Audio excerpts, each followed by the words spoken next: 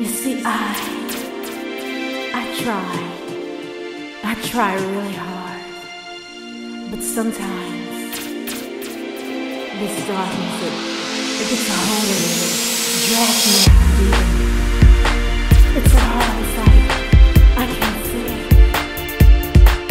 and so here in the dark night, I search for a melody that.